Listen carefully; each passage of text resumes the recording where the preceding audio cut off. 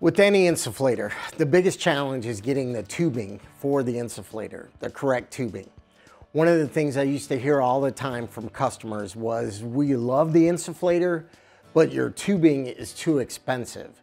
Um, we have a cheaper version of tubing that we can use, but with the PneumoSure, you need that PneumoSure adapter on the front of the tubing. So what Stryker has done is they've created a faceplate adapter to put on the front of the PneumoSure that allows you to use just standard straight up filtered tubing.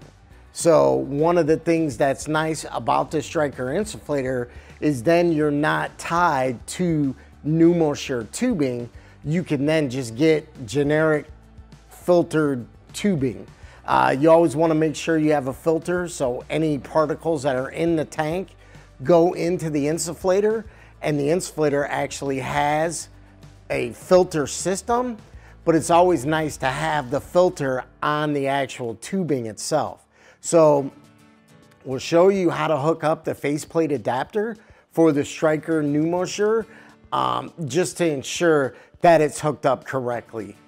So again, this is the actual PneumoSure tubing. This is the heated tubing, uh, but this is the connection that goes into the insufflator. So once you push this back, pull it out, it lets you know that it's not connected. Now, again, when we're talking about the faceplate adapter, this is what the faceplate adapter looks like.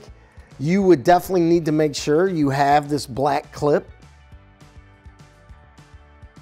definitely want to make sure you have this black clip.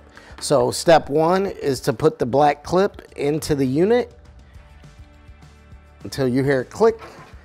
Then what you're gonna do is you're gonna put the faceplate adapter in, click it in, and then you're gonna screw it in.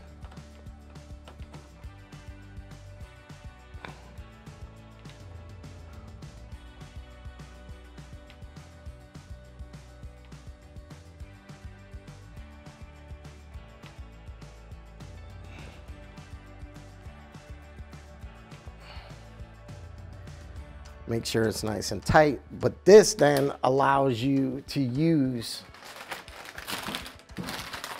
standard straight up insufflation tubing with the filter. This would then hook in, still have your Luer lock for your cannula, but then the other end would just plug straight into there. So you're eliminating the Stryker PneumoSure tubing and you're going with the universal faceplate adapter need to make sure that that black clip is inside there because then it's going to tell you that the tube set is not connected even though you have the faceplate in. So the black clip is the most important piece, but then this gives you the option to use just regular straight up insufflation tubing.